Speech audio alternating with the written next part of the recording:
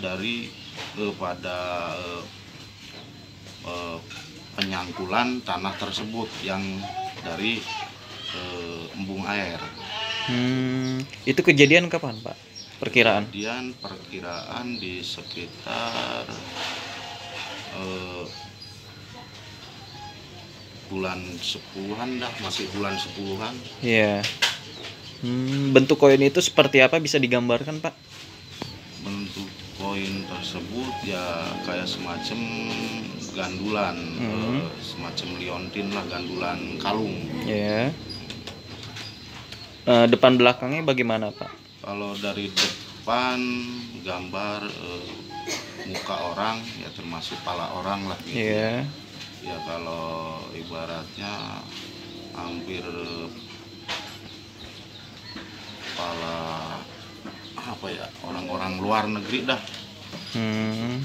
Tulisan dan tahunnya itu kapan, Pak? Eh, yang untuk di belakangnya ada kayak semacam gambar Garuda tapi Garudanya bukan Garuda Indonesia Hmm. Garuda luar itu kayak cuman dari tulisan tersebut yang hasil dibaca sama saya ada bah- bacaan Princess Pretty modern Hmm. termasuk ada nomor tahun di koin tersebut 1899 Hmm. Selanjutnya koin itu akan diapakan dan seperti apa sih, Pak?